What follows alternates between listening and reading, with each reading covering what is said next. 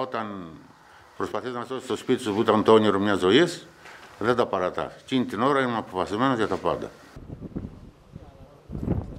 Γύρισε πίσω για να σώσει το σπίτι του και βρέθηκε στην εντατική. Ο 74χρονο συνταξιούχος κτηνίατρος Γιάννης Παπαδάκης έδωσε γενναία μάχη για να κρατηθεί στη ζωή με βαριά αναπνευστικά και επιφανειακά εγκάβματα στο πρόσωπο και τα χέρια. 40 μέρες μετά τον πύρινο εφιάλτη, επιστρέφοντας στα αποκαίδια της μεγάλης φωτιάς που έκαψε μέρος του σπιτιού του, μιλά στην Κρήτη TV και τον Νίκο Πετάση για το πώς γλίτωσε τη ζωή του. Μία ρηπή του ανέμου ήταν αρκετή για να κυκλώσουν οι φλόγες των 74χρονο. Τις κραυγές του άκουσαν από το τηλέφωνο η κόρη και η σύζυγός του που ενημέρωσαν έντρομε στις αρχές για τη διάσωσή του. Με κύκλωσε ένα φλεγόμενο παράθυρο από εκεί.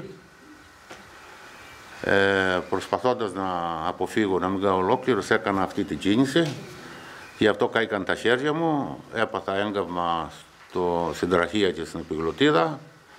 Στο πρόσωπο τώρα δεν φαίνεται καλά γιατί έχουν περάσει 40 ημέρες. Είδαμε τη φωτιά να έρχεται κατά πάνω μας ε, αναγκαστήκαμε να εγκαταλείψουμε το σπίτι ε, για να σωθούμε εμείς και τα ζώα μας. Ε, είχε έρθει στο μεταξύ μήνυμα από το 112. Ε, ναι, είχε έρθει. Όμως δεν αφήνεις εύκολα το σπίτι σου να έτσι τη μοίρα του. Μετά από 10 μέρες σε καταστολή και αφού υπέστη και έμφραγμα, ο 74χρονο άρχισε να συνειδητοποιεί τι είχε συμβεί, χωρίς να χάνει το θάρρος και τη δύναμη που τον έβγαλαν νικητή από την εφιαλτική περιπέτεια που έζησε όλη η οικογένεια, καθώς μεγάλο μέρος του σπιτιού τους έχει υποστεί καταστροφές από τη φωτιά. Τους είπε και για το κτηνίατρος, ε, το σπίτι του κτηνίατρου με το κτηνίατρο μέσα. Τότε ένας πυροσβέστης, τον οποίο και ευχαριστώ πάρα πολύ. Ποιος ήταν; Ο Αφορδακός Αστερεό, που έχω χρόνια να τον δω, ε, φιλοτιμήθηκε και ήρθε με το περιοσβαστικό εδώ.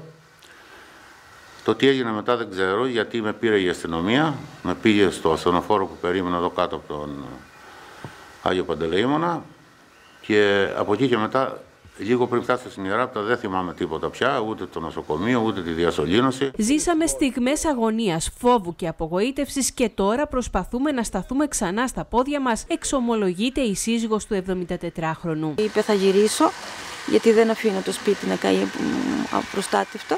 Θα κάνω ό,τι μπορώ, όπως και έκανε. Κόπη μια ζωή στο σπίτι. Κόπη μια ζωή, τα όνειρά μας και πολλά πολλά άλλα. Από την ολοήμερη μάχη με τις φλόγες των πυροσβεστικών δυνάμεων και εθελοντικών ομάδων που έσπευσαν να σώσουν ανθρώπους, σπίτια, επιχειρήσεις, δασικές εκτάσεις, καλλιέργειες και πολλά κατοικίδια, τρεις άνθρωποι κατέληξαν τραυματίες. Μία γυναίκα, ένας πυροσβέστης και ο 74χρονος Γιάννης Παπαδάκης, ο οποίος υπέστη τα σοβαρά εγκάβματα. Ο κόσμος έτρεξε αμέσως με δικά του ψεκαστικά και καταφέρανε το ακατόρθωτο, δηλαδή σώσανε αρκετά σπίτια. Μεγάλες είναι οι ζημιές που προκάλεσε η καταστροφική πυρκαγιά και σε καλλιέργειες, με την περιφέρεια Κρήτης, όπως εξηγούν οι κάτοικοι της περιοχής, να χρηματοδοτεί άμεσα την αντικατάσταση για τα καμένα αρθρευτικά δίκτυα, με αποτέλεσμα να αρχίσει άμεσα το πότισμα των καλλιεργιών που επηρεάστηκαν και να σωθούν.